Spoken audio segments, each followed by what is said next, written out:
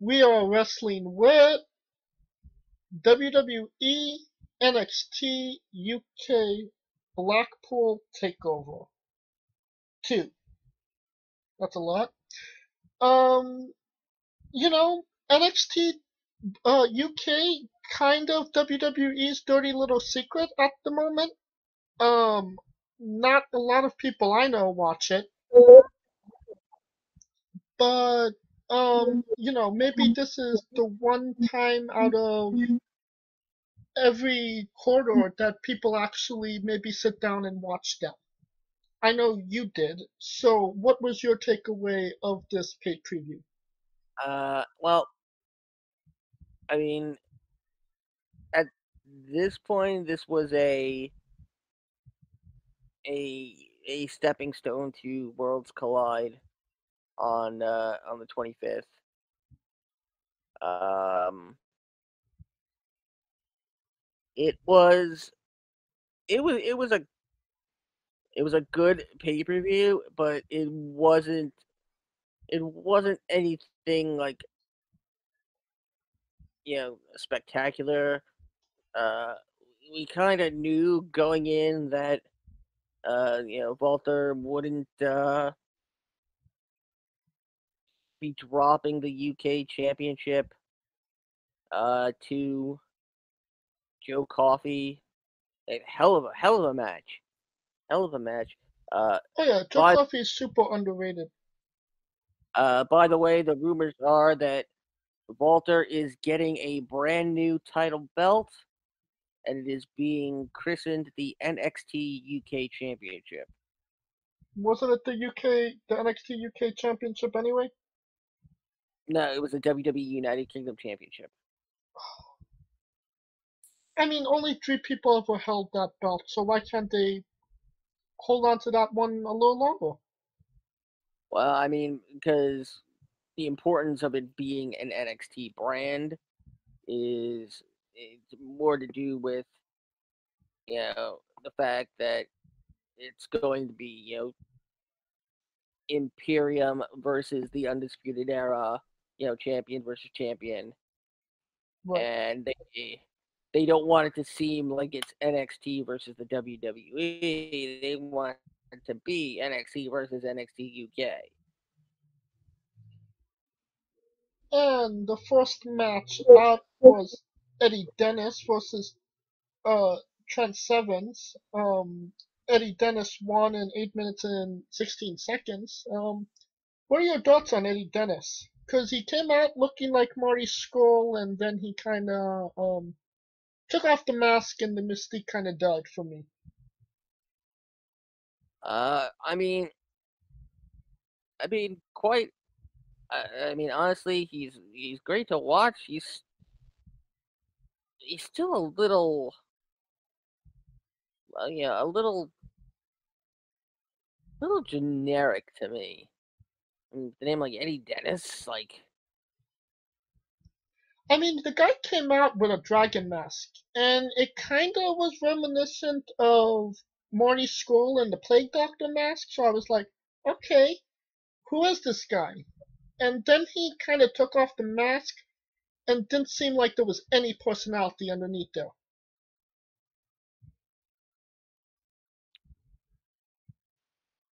Yeah, that's that's that's seems like a guy that you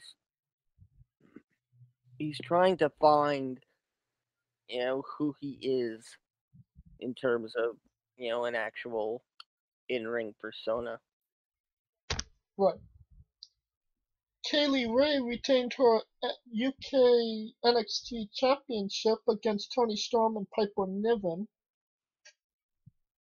I'm a I'm a Kay Lee Ray mark, so I'm I was kind of happy about this. Uh, yeah, I this was this was uh good. I've I've always been um I've always been quite high on uh on Piper Niven, actually. Uh you know, she's not your uh your your, your typical your cookie cutter skinny You know, she's got a little, she's got some curves to her, and You, you know, like that, curves on a always. woman, Scooter? Oh, I love them. I love them. There's no, there's nothing more beautiful than a naturally curvy woman. Just ask my wife. um, if I ever meet her, I will. Believe me, she is my wife is the curviest. Love you, baby. If you're listening to this,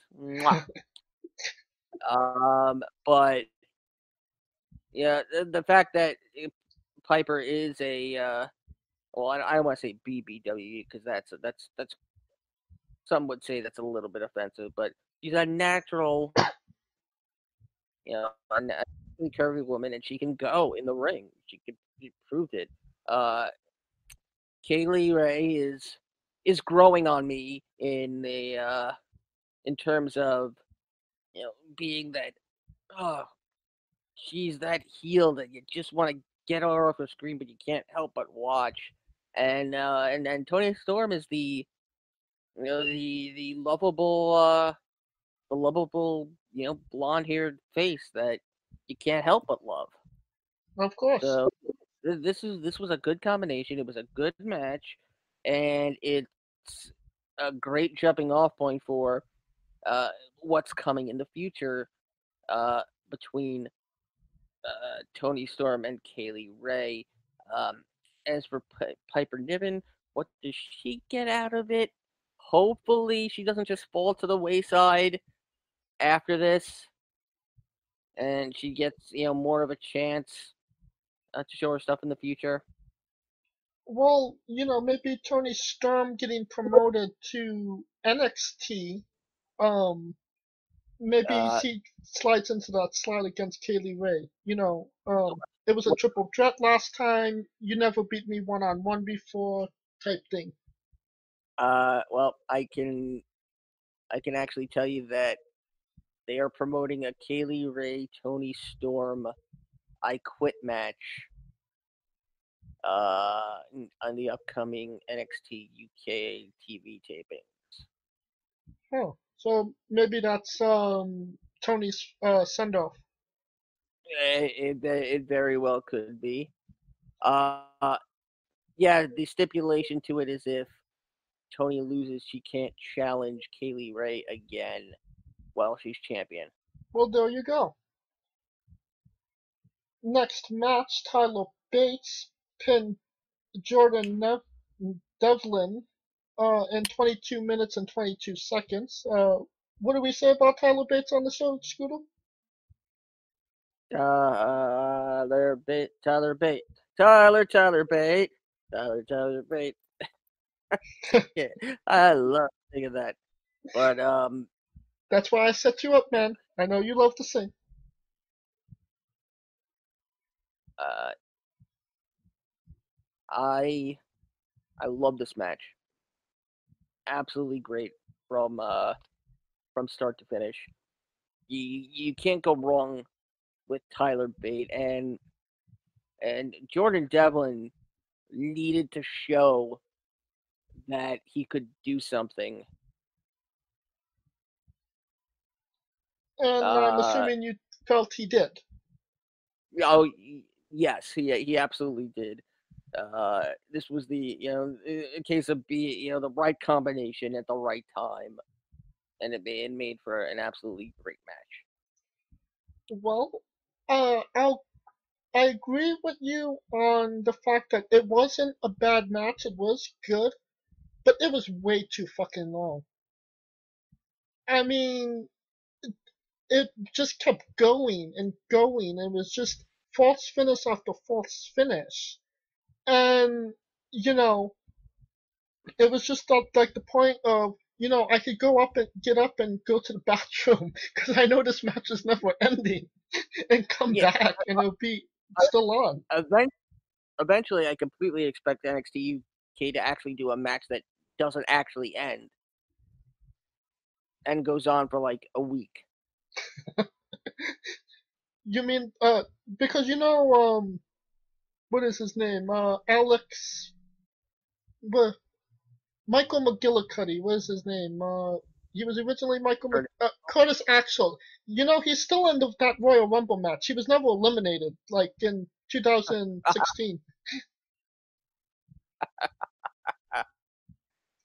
so yeah, Uh, there is a lot of matches that are still going on to this day that will never end.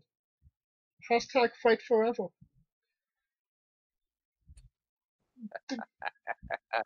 Going on to the next match, ladder match for the UK tag team belts. Uh, Gallus, Wolfgang, and Mark Coffey beat grizzled young veterans Zach Gibson and James Drake.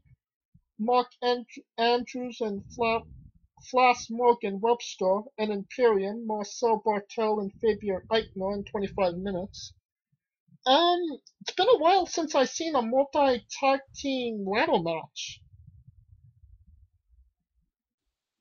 I think the I think the last one in any WWE uh, pro uh, and, and, TV of any sort was WrestleMania 33. That's right. Um, NXT did one at a takeover about a year ago, I believe. That um, the Street Profits one. Yes, yes, that is true. Yes. Um, I'm I'm a bit puzzled why they wouldn't shoot the belts onto Imperium here. Right. if you're going for the fact that Imperium is supposed to be the dominant force, it makes and especially if, if they're going up against the Undisputed Era, it makes sense that they are, you know, the essentially the equivalent of the uh of the the NXT. You know, they're supposed to be like the opposites Right. the light to the dark of the you know, of NXT. Um, and again, it, it, I've always wondered why Fabian Aichner even has a job. So Right. Well, he, hey, you know he's doing well for himself now. Um, yeah, Wolfgang obviously a part of uh, NXT UK in its inception. Um, Mark Coffey and Joe Coffey kind of getting in there afterwards. Uh, but I agree with you. Um, you know, Undisputed Era tag team champions. Um, they kind of should have won. It would have made more sense that way, but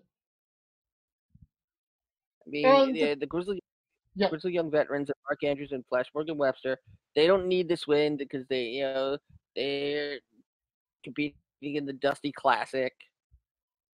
But then again, so so was Gallus, and yeah, and they, and they're out of it now. So uh, right. Didn't Mark Andrews and um, Webster get eliminated as well? yes, they did. Yeah. eh, But the the Grizzly Young Veterans, put they spoiled the WWE debut of Alex Shelley. Yeah, I don't think anybody's crying about that. I am. Is it kind of wrong that um I was rooting for grizzled young veterans in that match? No, because Alex Shelley uh, and Kushida. They don't need that. They they they don't. They're not. They're they're not a WWE tag team. Yes, they were the time splitters back in New Japan.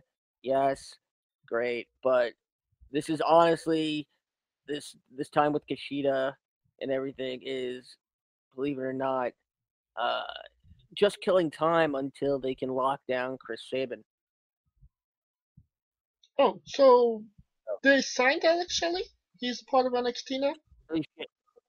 Shelley is signed to a short-term deal, uh, from what I have read. Yeah. Release him and send him back to Ring of Honor. He he has been competing uh, on NXT house shows. Yeah. So Alright, uh, and that takes us to our main event. WWE United Kingdom Championship. Walter beat Joe Coffey by submission in 27 minutes and 31 seconds. I think the thing I like about Walter the most is that he doesn't win uh, a match the same way every time. I mean, talk about false finish after false finish. like, uh, I mean, yes, NXT UK tends to deliver on their takeover main events quite often, but they also end up getting bogged down in false finishes and and people uh you know people showing up. I mean you had you had you had friggin uh, ilya dragunov even you know showing up you know to help uh fight off um you know the rest of imperium and alexander wolfe. Uh but I mean, in terms of uh, match, this is you know, eventually it's going to get to a point where the the great NXT Takeover UK main events aren't going to be great anymore. They're just going to be standard, uh, complacent, and then eventually they're going to be boring.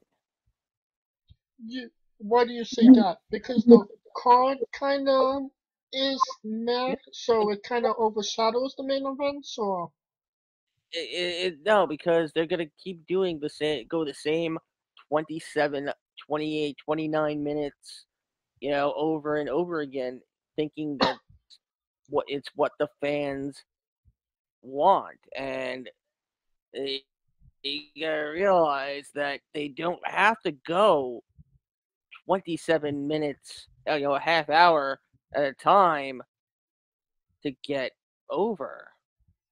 Do you think that's just because they feel they need to go 30 minutes, or do you think that they're filling in mm-hmm. the time because they only have like four or five matches on a card? Uh, it could be a little bit of both. I mean, NXT UK has some of the most uh, rowdy and uh, you know uh, devoted fans.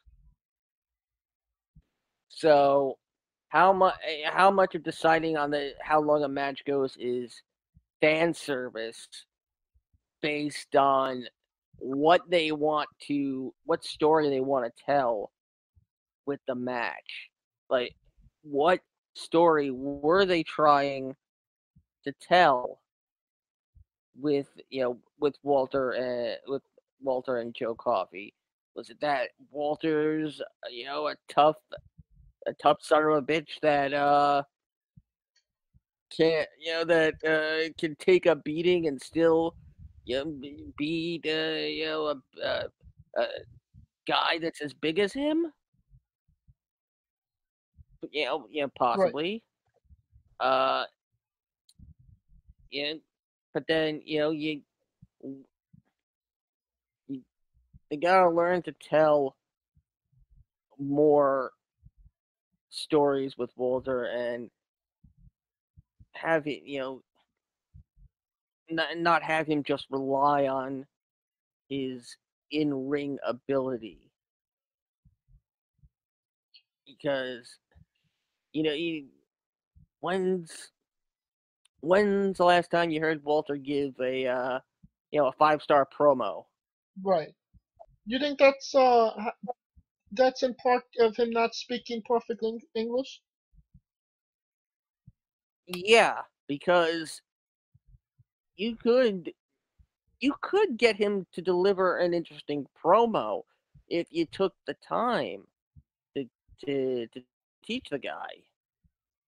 Right. But it it's like it's you know these days you know the WWE is impatient and you know with you know their um their plan to lock down as much talent as possible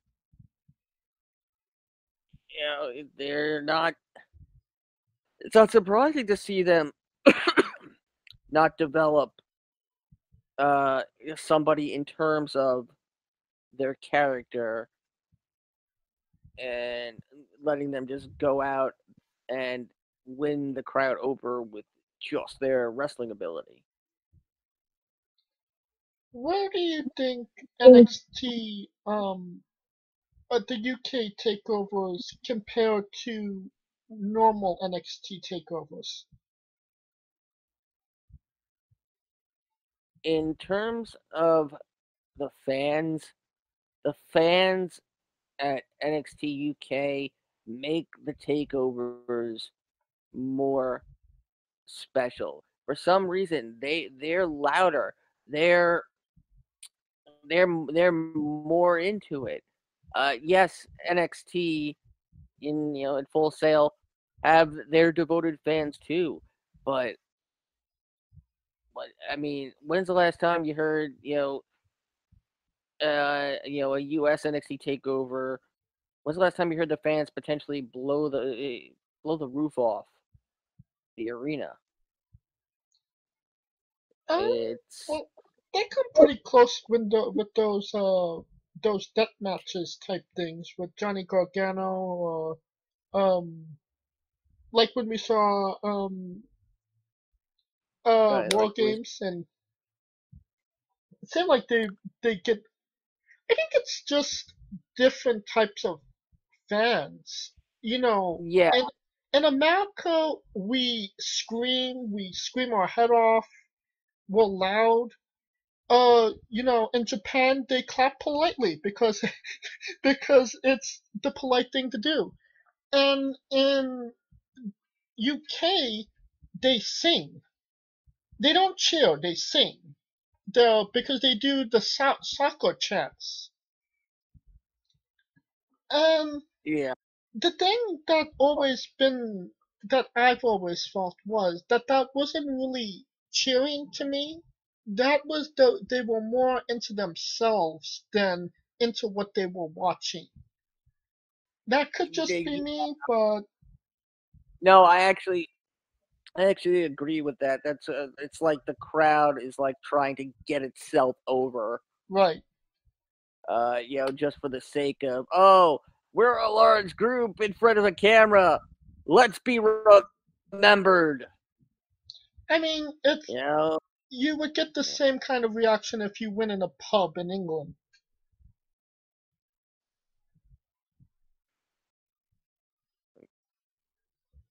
But also NXT, uh, you know, regular American NXT, they're not doing every match going, you know, twenty some odd minutes, and you know, 'cause British fans, oddly enough, they don't seem to get tired of false finish after false finish. They eat it up. because they're they're drinking their heads off. I mean, American fans, they they yes, they like that to a degree, and then eventually they pick up on what's happening, and they're they're like, come on, just take it home. I mean, there's a reason that um British wrestling's dying right now. Um, other than you know maybe NXT UK and maybe Rev 12, uh, independent wrestling down there isn't surviving. So maybe it's in part to that as well.